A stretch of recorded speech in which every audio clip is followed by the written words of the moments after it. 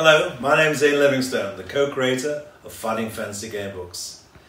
I wrote The Warlock of Firetop Mountain in 1982 with Steve Jackson, and over these many years we've sold over 20 million Fighting Fantasy books worldwide. We've been privileged to work with some of the world's best fantasy artists who illustrate our covers and also the internal artwork of Fighting Fantasy, some of which the wonderful artwork you can see here in my, my collection.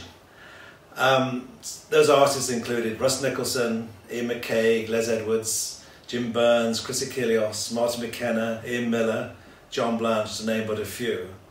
And we're so delighted to announce that we've teamed up with Atlantis Miniatures, who are going to bring these amazing miniatures to life.